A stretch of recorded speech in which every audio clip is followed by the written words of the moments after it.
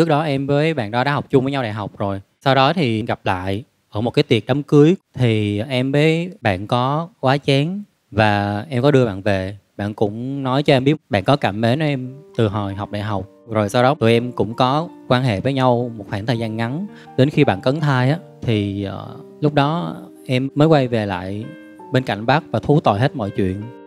Wow. Bách thật sự là quá là bao dung điều gì khiến cho bách có thể ờ, mở rộng cái tình yêu của mình và bao dung của mình đến như vậy? Khi mà biết cái chuyện này á, thì bản thân mình cũng có hoang mang. Nhưng mà sau khi em suy nghĩ lại, thì em cũng có gặp mẹ của bé và em thuyết phục lĩnh và mẹ bé là nên cho bé một gia đình. Cái lỗi lầm của người lớn thì không thể nào mà để cho con trẻ phải chịu. Khi mẹ bé mất thì mẹ có để lại một bức thư nhờ em chăm sóc cho anh lĩnh và bé nên cái việc đó làm em phải thương yêu và chăm sóc bé nhiều hơn. Cao thượng luôn ấy. Cho anh hỏi lĩnh là lúc đó là vì em muốn trở lại với bách hay là em cảm thấy là em không thể tiếp tục gắn kết với cô gái đó? Thật ra người đủ tư cách ở đây nói quay lại hay không không phải là em mà là bách. Nothing ever felt as good or as easy as when we were young. Chưa.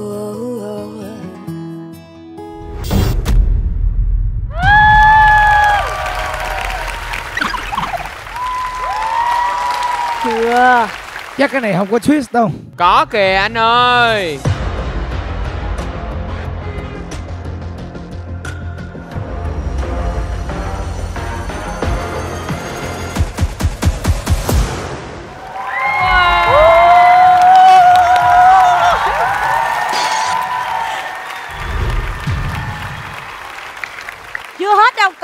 Còn đó màn Hết hình rồi. đổi tiếp nè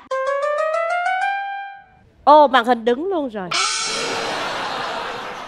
chào em dạ em chào nhân thành ạ chào à, bạn nữ chính và chào à, ban cố vấn cũng như là khán giả đang xem chương trình ạ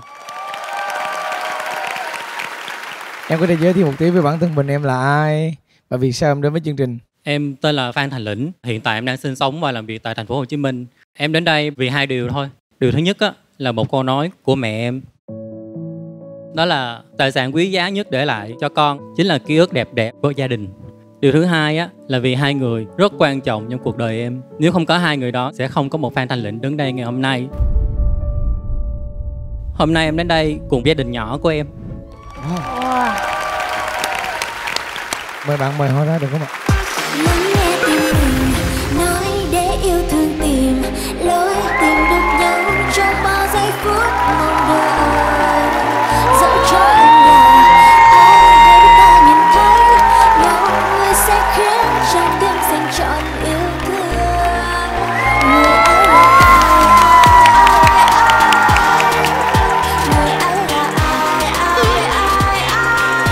vậy? Chết tôi rồi. Nổi hết da gạo trời ơi. Cái điều này đáng surprise nha. Bây giờ em có thể khẳng định cho mọi người biết em là trong nhóm nào khi đến với chương trình ạ? Em là Bi ạ. bạn ấy là bisexual. Ồ mà hai bạn gương mặt giống nhau thế nhở Nét phu thê thật luôn ấy. Ồ anh nói mới để ý thấy giống thiệt. Hiện nay hai bạn đang sống với nhau với danh nghĩa là vợ chồng luôn hả? Mọi người có thể gọi em ấy là Nguyên Bắc. Nhưng với em á, em gọi em ấy là vợ. Ồ, Và thiên thần đang ẩm ở trên tay của em ấy á là Phan Khôi Vĩ, con ruột của em. ồ Trước tiên em gọi lại cái ký ức này ngay tại sân khấu Nghệ Lai thì em một lần nữa xin lỗi bác. Bé đến với em là một cái lỗi lầm của em ở quá khứ. Em có sau lưng bác làm những việc không tốt với một cô gái. Và cô gái đó chính là mẹ của bé. Đang ở đâu đó trên thiên đường thiên đường Ủa là bạn đó không còn nữa hả? đợt covid vừa rồi không may Dạ chia buồn cùng với em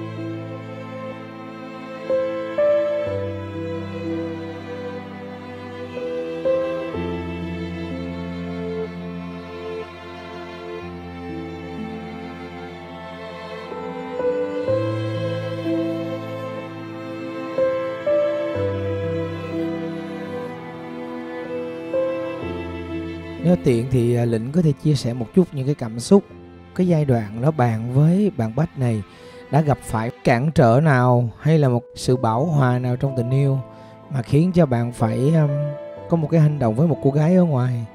Cái cái điều đó là là vì cái gì? Chắc là đưa đưa cho bách bế bế em lại. Ok rồi. Ồ, xin lỗi em nha xin lỗi em nha. Rồi em đang ngủ mà hôm nay à, bách ẩm bé trên tay một cách rất là là thương yêu và bách cực kỳ vĩ đại. Cảm ơn bạn đã nó thật sự rất là ấm áp trong cái trường hợp này. Ok xin lỗi em. Rồi. À, thời điểm đó với em không phải là bác làm việc gì có lỗi với em hết.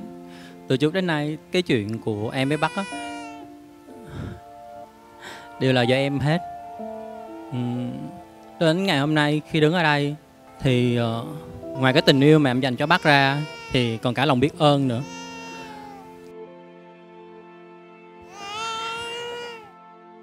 Bây giờ chắc là chúng ta sẽ tạm chia tay với bách để cho bách à, đưa em vào nghỉ ngơi nha.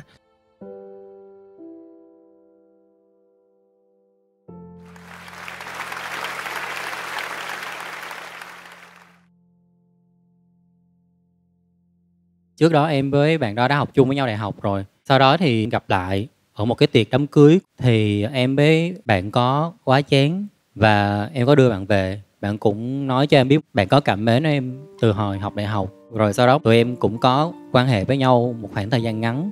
Đến khi bạn cấn thai á thì uh, lúc đó em mới quay về lại bên cạnh bác và thú tội hết mọi chuyện. Wow. Bách thật sự là quá là bao dung điều gì khiến cho bách có thể ờ, mở rộng cái tình yêu của mình và bao dung của mình đến như vậy? Khi mà biết cái chuyện này á, thì bản thân mình cũng có hoang mang. Nhưng mà sau khi em suy nghĩ lại, thì em cũng có gặp mẹ của bé và em thuyết phục lĩnh và mẹ bé là nên cho bé một gia đình. Cái lỗi lầm của người lớn thì không thể nào mà để cho con trẻ phải chịu. Khi mẹ bé mất thì mẹ có để lại một bức thư nhờ em chăm sóc cho anh lĩnh và bé nên cái việc đó làm em phải thương yêu và chăm sóc bé nhiều hơn. Cao thượng luôn ấy. Cho anh hỏi lĩnh là lúc đó là vì em muốn trở lại với bách hay là em cảm thấy là em không thể tiếp tục gắn kết với cô gái đó? Thật ra người đủ tư cách ở đây nói quay lại hay không không phải là em mà là bác Nothing ever felt as good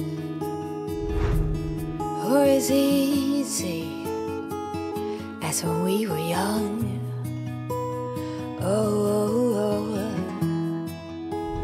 Bác đã đồng hành với em 6 năm rồi. Những tổn thương bác đã có đã từng ấy năm, hạnh phúc một đời á, vẫn là quá ngắn. Nhưng chịu đựng một ngày á, đã là quá nhiều. Và với bạn nữ đó, em với bạn chắc chắn một điều rằng em không thể nào cho bạn một mái ấm được hết.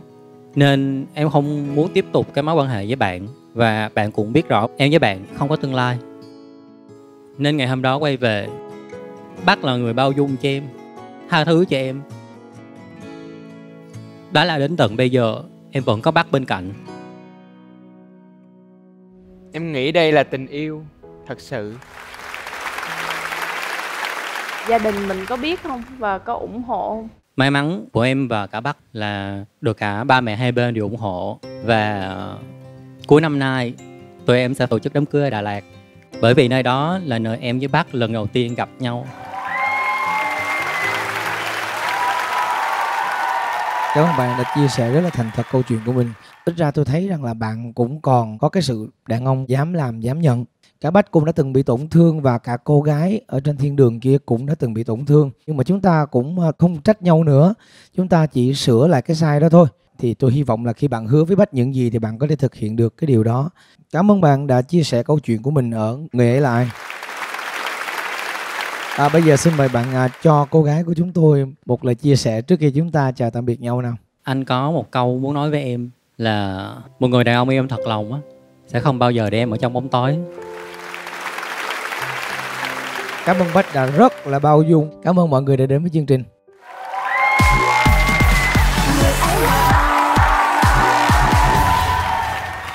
Chúng ta vừa có một câu chuyện à, khá là phức tạp, phải không thưa quý vị? Tôi nghĩ rằng là những cái người ở trong cái nhóm mà bisexual đó, họ luôn luôn có những cái tâm lý cực kỳ phức tạp, mặc dù là cái bạn lĩnh yêu bạn bách, nhưng mà trong cái cơ thể của bạn lĩnh, đâu đó nó vẫn còn có một cái người đàn ông ở trong đó, cho nên vẫn say nắng với một bạn nữ khác. Cho đến khi bạn ấy nhận ra là cái tình yêu thật sự của bạn ấy là bạn bách, thì bạn ấy quay trở lại. Đã từng có lỗi thì nhận lỗi thôi ạ và hy vọng là chúng ta cũng sẽ có một cái nhìn thông cảm hơn cho bạn, lĩnh. Cảm ơn. Mọi người, chúng ta sẽ đến với vòng 2 sau ít phút giây lặng